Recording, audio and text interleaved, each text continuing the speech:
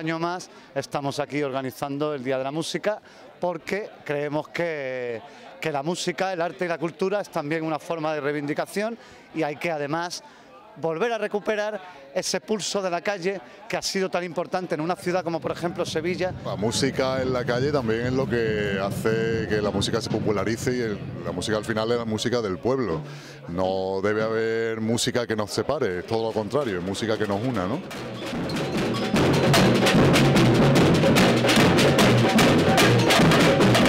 La música yo creo que al final es lo que nos va a unir a todos y puede que sea lo que finalmente termine uniendo también a Europa.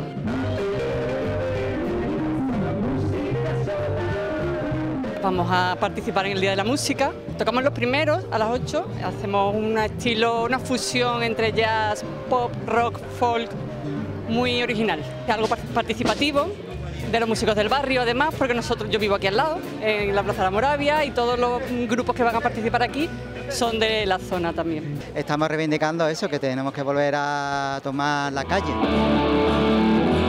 porque es el sitio donde hay que expresar la fuerza para intentar cambiar las cosas y que vayan a mejor, ¿no? Hay que apoyar al sector de los músicos, que está fatal, cada vez estamos peor. Y, y al rock también hay que apoyarlo, que se está muriendo. Cada vez cuesta más tocar, más trabajo tocar, mm, cada vez las condiciones son peores y cada vez hay más pegas para poder montar conciertos. Estas cosas del mercado y de las instituciones y de los ayuntamientos y de la Junta de Andalucía tienden a absorberlo todo. La falta de espacios públicos eh, aquí en Sevilla en concreto espacios públicos pues destinados a, la música. Lo que hay son todo eh, salas privadas con eh, circuitos cerrados donde los no profesionales e incluso los profesionales pues eh, tienen un difícil acceso si no es pagando y produciéndose ellos mismos su propia música. Y curiosamente cada vez incluso intentan contratar a menos gente para hacer más cosas creo que es algo general ¿no? del trabajador y de la trabajadora. ¿no? Dentro de nuestra acción social, como organización, como colectivo, tenemos también que reivindicar las condiciones de un sector totalmente precarizado, como es el sector de la cultura, en este caso concreto el sector de los músicos, y en este caso más concreto todavía el sector de los músicos de la calle, de los músicos callejeros, su salario depende en muchas ocasiones de que no le pongan multa, de que no venga la policía a levantar esa economía precaria que supone el buscarte la vida ¿no? Eh, de la manera que se puede. ¿no? La CGT mejor que nadie para reivindicar este tipo de, de historias, claro que sí.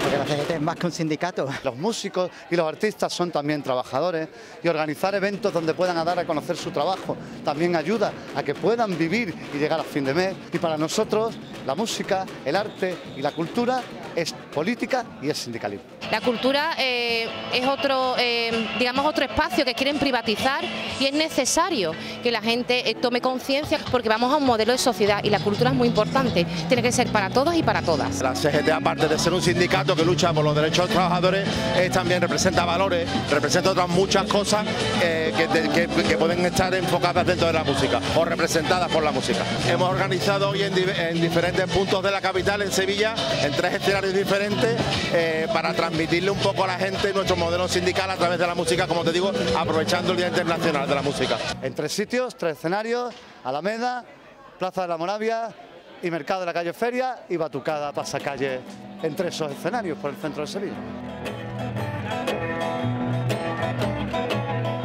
Hemos conseguido que el Día de la Música además no se pierda en Sevilla, que era una cosa que antes se podía tocar en los bares. Es el, el sitio donde los músicos de Sevilla van a poder expresar libremente lo que hacen, su trabajo, lo que hacen año a año, lo que van avanzando, lo que van publicando.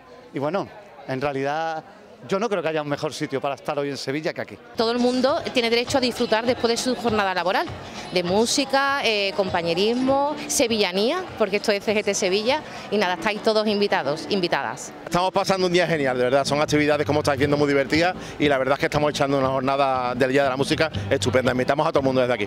Que viva la CGT y que viva el Día de la Música. Yo os invito a que vengáis, tanto a este escenario como a los otros que, que ha preparado la CGT en el Mercado de la Calle Feria y en la Alameda Alameda porque va a ser una noche estupenda y es una forma de apoyar y de pasar un rato divertido aquí, tomando una cerveza con los amigos un viernes por la tarde y escuchando buena música en directo.